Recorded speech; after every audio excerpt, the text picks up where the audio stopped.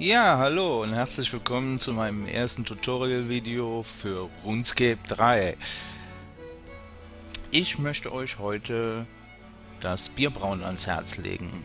Bierbrauen ist eine Sache, die fast von selber läuft und trotzdem noch gutes Geld einbringt. Ja, was brauchen wir denn zum Bierbrauen? Bierbrauen, wir brauchen ein Gefäß, wo wir das gebraute Bier drin verstauen können. Ich nehme immer Kalkwattfässer dazu, man kann auch Biergläser nehmen, aber in die Kalkwattfässer passen vier Portionen Bier. Und deswegen vom Platzmanagement eigentlich die bessere Alternative. Ja, wir brauchen zwei Eimer, um Wasser nachzufüllen. Wir brauchen zwei Töpfe für Bierhefe. Wir brauchen Gerstenmalz. Das könnt ihr aus Gerste herstellen, die ihr auf den Ofen schmeißt und somit Gerstenmalz bekommt. Dann benutze ich immer das Zeugs. Das Zeugs ist eine Zutat, die bekommt man übers Minispiel Rumbrennen auf der Insel fast harmlos.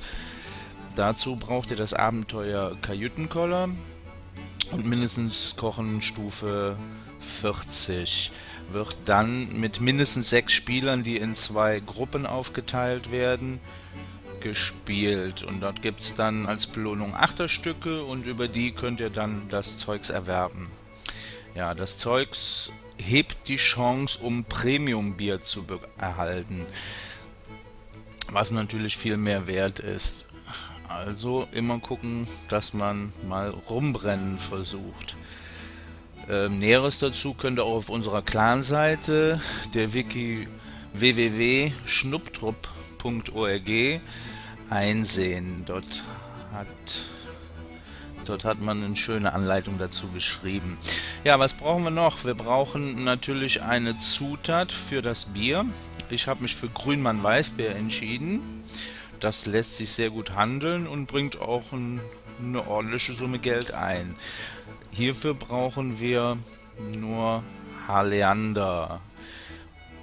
Und zwar, wir werden zwei Brauereien anschmeißen. Und somit brauchen wir auch die doppelte Menge. Es heißt, pro zwei Gerstenmalz, ein Zeugs und vier Haleander in diesem Fall.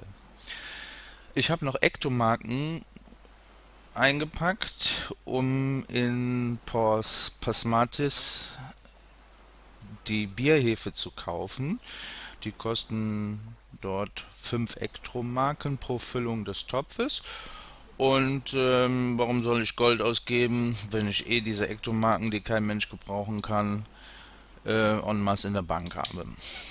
Ja, dann brauchen wir natürlich noch was zum Telen, also zum Ort zu gelangen. Dafür habe ich das Ektofläschchen, um nach Port Pasmatis zu kommen. Und ich habe noch einen Ring des Reichtums, der uns zur Markthalle befördert, wo wir dann ziemlich schnell nach Keldergrim kommen. Dort ist dann die zweite Brauerei würde ich sagen, legen wir einfach mal los und begeben uns nach Pos Pasmatis.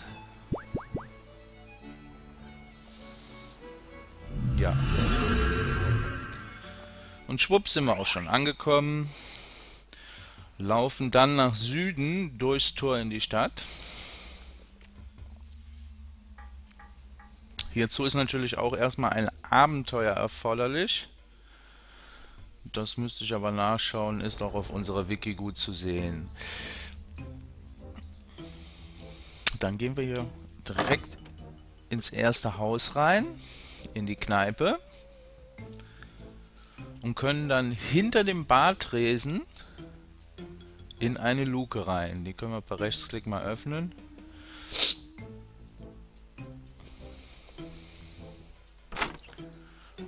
Und unten angekommen sind wir schon in der ersten Brauerei.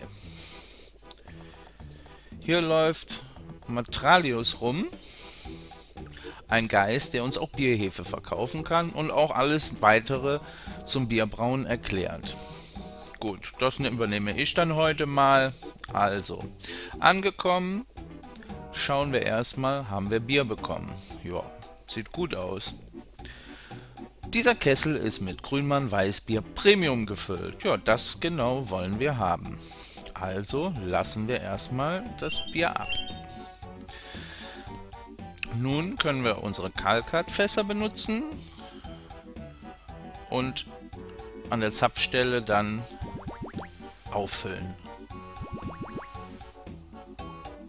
So, und was haben wir? Vier Grünmann Weißbier. Jetzt geht's ans Brauen. Als erstes brauchen wir Wasser. Hier hinten haben wir einen schönen Wasserhahn. Da ist er. Füllen die zwei Eimer auf. Ne? Und geben das Wasser in den Trog. Jetzt muss die Reihenfolge auf jeden Fall beachtet werden. Also erstmal das Wasser, dann kommt das Gerstenmalz hinein.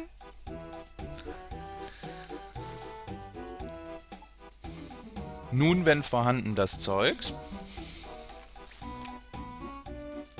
Im Anschluss den Haliander.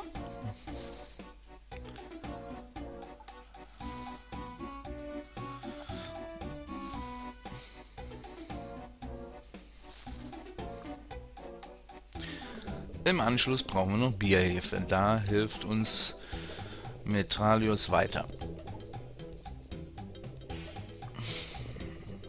Hallo, brauchen Sie Hilfe beim Brauen?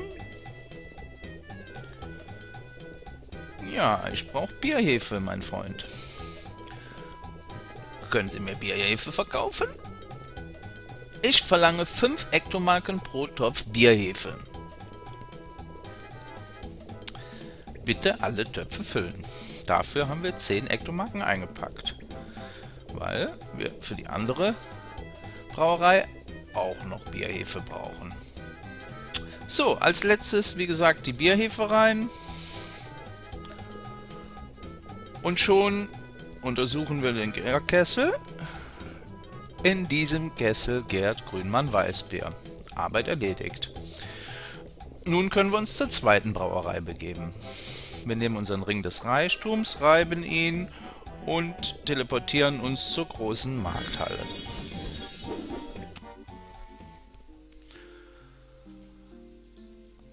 Laufen dann nach Norden.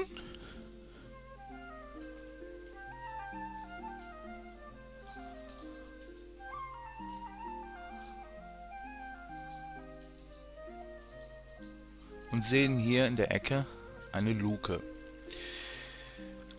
Damit reisen wir ganz schnell mal nach Keldergrim.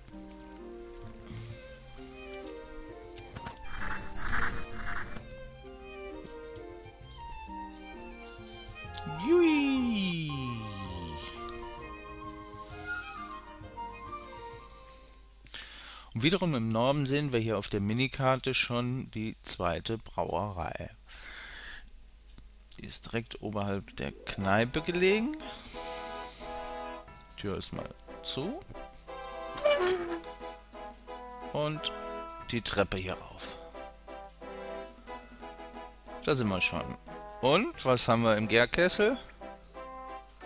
Grünmann Weißbier Premium. Da lacht das Herz.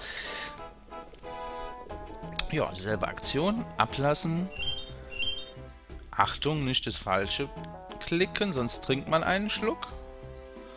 Kalkatfass und zapfen. Jetzt habe ich einen Fehler gemacht. Normalerweise sollte man im Post Pasmatis seine Eimer wieder mit Wasser füllen, da hier leider kein Wasserhahn zur Verfügung steht. Aber keine Aktion. Treppe runter. Etwas gegen Norden gelaufen. Auf der Karte sehen wir schon das Wassersymbol. Dort haben wir einen Brunnen. Eimer benutzen und schon haben wir unser Wasser. Ne, diesen Weg kann man sich sparen, wenn man seinen Kopf zusammenhält und in Post Pasmatis seine Eimer vor Abreise wieder auffüllt. So, zurück zur Kneipe.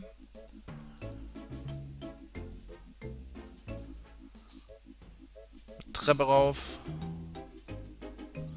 und das Wasser in den Gärkessel.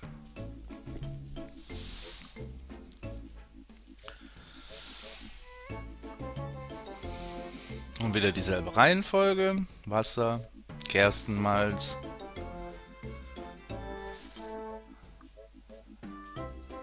das Zeugs, wenn's ihr, wenn ihr es habt. Ihr könnt natürlich auch Premium-Bier erhalten, ohne das Zeugs. Allerdings ist mit dem Zeugs die Chance natürlich erheblich höher.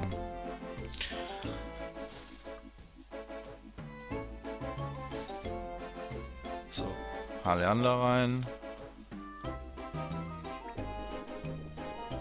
Und zum Abschluss die Bierhefe. Dann sind wir fertig. Ja, dann gehen wir mal wieder in die Markthalle. Haben wir den Ring des Reichtums. Ab zur Markthalle.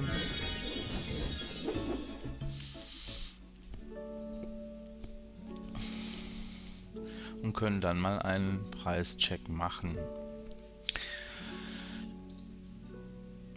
Wir schauen mal. Ein Fass. 280.000. So, und dann haben wir schon mit den vier Fässern 1.122.000 Gewinn. Für reichlich wenig Arbeit. Naja, das Brauen dauert halt auch seine Zeit. Also es ist nicht in fünf Minuten fertig. Es kann manchmal zwei bis auch vier Tage dauern, bis das Bier fertig ist. Ähm, ja, dann muss man halt Glück haben, dass man Premium hat. Ich kann euch noch zeigen, ich weiß es jetzt leider nicht auswendig. Ich habe, glaube ich, noch normales. Ne, kann ich euch nicht zeigen, weil meine Bank noch abgeschlossen ist. Es liegt so um die 6000, 6000 Chipse, das normale Weißbier. Okay, das war es erstmal. Ich hoffe, euch hat es gefallen. Bis zum nächsten Mal.